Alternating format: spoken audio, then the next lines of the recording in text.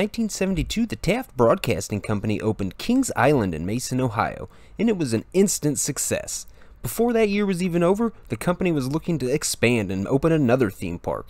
They formed a partnership with Top Value Enterprises to form Family Leisure Centers and quickly began work on their next project. The site chosen was a 400 acre plot of land in Doswell, Virginia, about 25 miles north of Richmond, right off of I 95. Construction began on October 1, 1972, with the idea of Kings Island's design in mind. The park was instantly faced with a challenge, as Anheuser-Busch, the owner and operators of Busch Gardens in Tampa, Florida, was also looking to expand their theme park division, and they chose Williamsburg, Virginia, just 70 miles away as their site to open a park. So they were going to have stiff competition from day one. King's Dominion was near completion by 1974, and they decided to host a soft opening that year, featuring the Lion Country Safari, a drive-through animal safari which looks pretty f***ing intense to me, and the Scooby-Doo roller coaster. Park's official grand opening was held the following year on May 3rd, 1975, and it was both a huge success and a near disaster, as over a hundred thousand people showed up, causing a 10 mile traffic jam on all nearby highways. About 50,000 people were let in and 50,000 were turned away. Wow.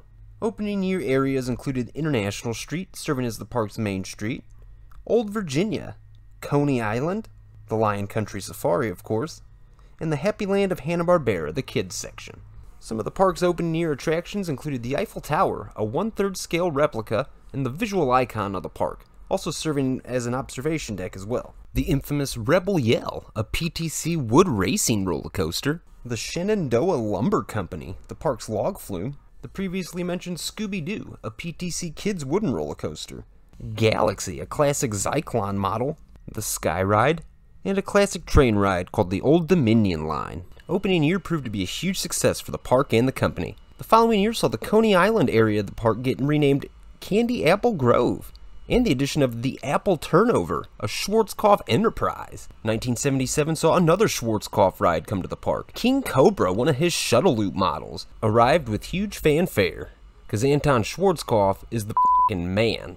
1978 saw a lodging expansion to the park, as the King's Hideaway Campground was added. It still remains open today as a joint partnership between the corporate campground conglomerate KOA and Cedar Fair. 1979 saw a unique expansion in terms of attraction. The Lost World Mountain, a very interesting concept, a 17 story mock up mountain that cost $7 million to build but featured three attractions inside. The Journey to Atlantis, which was pretty much a fancy log flume, The Land of Dooz, a children's mine train, and Time Shaft, a rotor. The journey to Atlantis did not last long, however, and the very following year it was renamed the Haunted River. Two years later, in 1982, we saw the Taft Broadcast Company try to recreate some of the magic they created with their iconic roller coaster, The Beast, at Kings Island. So they did their second in-house roller coaster, this one at King's Dominion, known as Grizzly. It didn't quite match the legacy that the Beast built for itself, but it's still a decently fun ride.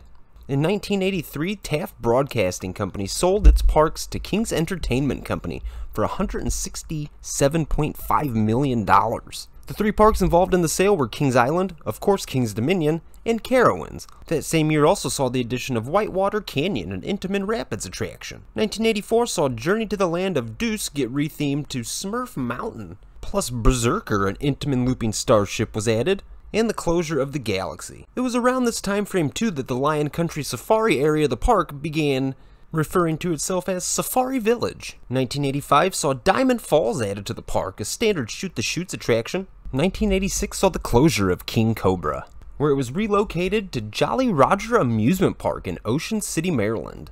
But when there's a closure, there's usually also an addition, and this was the case, as the park received a Togo stand-up uh, roller coaster in Shockwave. 1987 saw park ownership kind of change hands as American Financial bought all the King's Entertainment Company properties, but allowed King's Entertainment to continue to operate all of the park. 1988 saw Avalanche, a mock bobsled coaster, which still operates today and is the last of its kind. 1991 saw an addition of an Arrow Dynamics custom-made looping coaster, an Anaconda. Visually, it's a very pretty roller coaster, built right on the lake, but it's notoriously rough, and eh. 1992 saw a huge addition, as Hurricane Reef Water Park was added in the very back. 1993 was a huge year on the corporate end, as American Financial sold all their parks to the movie company Paramount, and the park began being referred to as Paramount's King's Dominion, and their first order of business was to close an load of rides. Apple Turnover,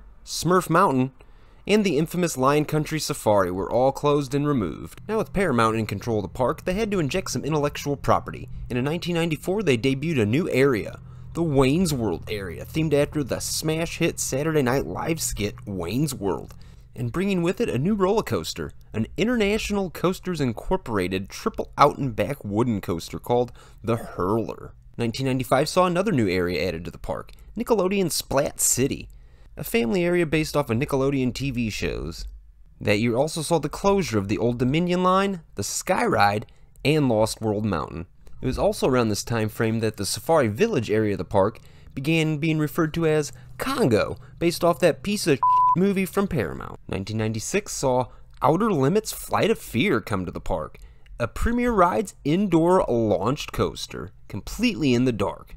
Very fun ride. 1997 saw the Hanna-Barbera Land Kids area get rethemed to Kidsville, and the Scooby-Doo roller coaster was renamed Scooby-Doo Ghoster Coaster. And we also saw a new kids coaster in Taxi Jam. 1998 saw the Lost World mountain structure get retooled for Volcano the Blast Coaster, an Intamin suspended catapult coaster. Very unique ride. They only built one of them.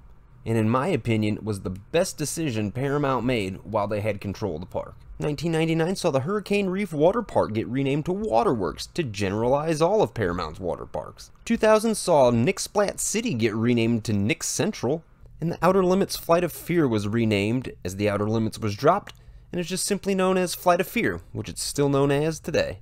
2001 saw Candy Apple Grove get combined with the Wayne's World section, and was just simply known as The Grove, which a lot of people were like, uh, hey, what the are you doing, Paramount? That same year was the debut year of Fear Fest in the park, park's Halloween extravaganza. But the biggest news of that year, however, came from Hypersonic XLC, an S&S compressed air launch coaster, shooting riders 165 feet in the air and reaching speeds of 80 miles per hour. It was quite an intense ride, but from the minute it opened, it was plagued with mechanical issues. 2002 saw Ricochet added to the park, a mock Wild Mouse coaster, perfect for families, experiencing a roller coaster altogether for the first time. And also that year was the closure of Diamond Falls. 2003 saw the addition of the aptly named Drop Tower, Stunt Tower. 2004 saw Scooby-Doo and the Haunted Mansion added to the park, a fun interactive dark shooter.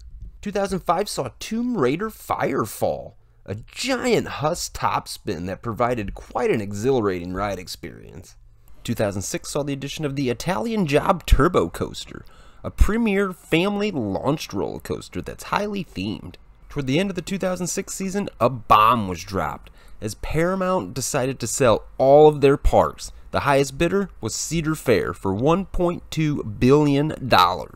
Under the first full season under Cedar Fair's ownership, Paramount was dropped from the park's name and was once again known as King's Dominion. Also, Fearfest was renamed Halloween Haunt, and the Italian Job Turbo Coaster was renamed Backlot Stunt Coaster.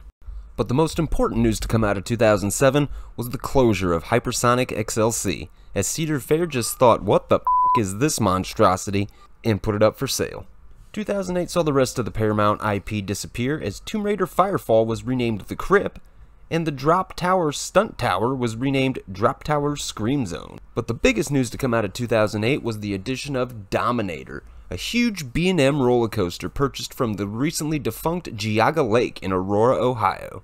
2009 saw the other two rides purchased from Geauga Lake added to the park, El Dorado, a falling star model, and Americana, the first Ferris wheel added to King's Dominion. 2010 saw the addition of Planet Snoopy, another kids area, and the two Scooby Doo attractions were forced to lose Scooby that year, as the Scooby Doo Ghoster Coaster was just simply called Ghoster Coaster, and the Scooby Doo Haunted Mansion was renamed and rethemed to Boo Blasters on Haunted Hill. But the biggest news easily of 2010 was the addition of arguably the most popular ride in the park, Intimidator 305, a 305 foot tall Intamin Giga Coaster and reaches speeds of 90 miles per hour. And once that initial drop is over, this thing stays pretty close to the ground, providing an ultra intense ride experience. 2011 saw El Dorado hit the road already, did not last long. 2012 was the debut of Fastlane in the park, plus Taxi Jam was rethemed to the Great Pumpkin Coaster,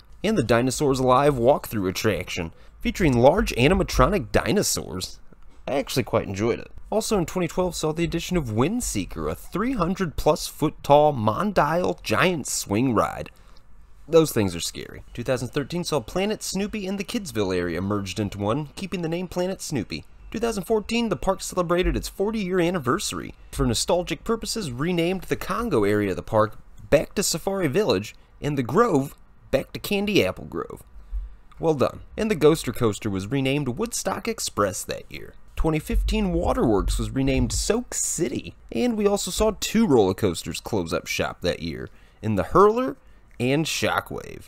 2016 saw the addition of Delirium, a Mondial Revolution attraction, standing 115 feet tall. Those things are a lot of fun. 2017 saw two renames, as Ricochet was renamed Apple Zapple and Rebel Yell was appropriately renamed to Racer 75. 2018 proved to be quite significant, as we saw what was done with the Hurler skeleton, as it had been SBNO for nearly three years at that point.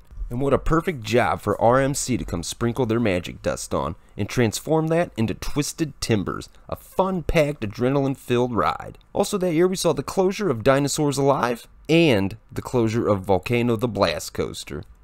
It was a lot of people's favorites, but it was just way too much to maintain, and time to go. The park did not open at all in the summertime in 2020 due to obvious reason, but at the very end of the year they were able to open for a short period of time and debut something kinda new and cool.